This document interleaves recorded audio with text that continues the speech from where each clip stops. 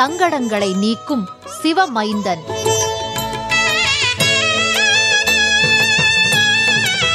துயர் நீக்கும் தும்பிக்கை முகத்தோன்.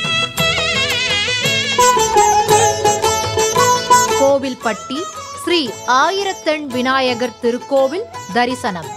ஆலயங்கள் அற்புதங்கள். நாளை காலை ஆறு மணிக்கு. மறு ஒளிபரப்பு மாலை ஆறு மணிக்கு. நமது புதியுகத்தில்.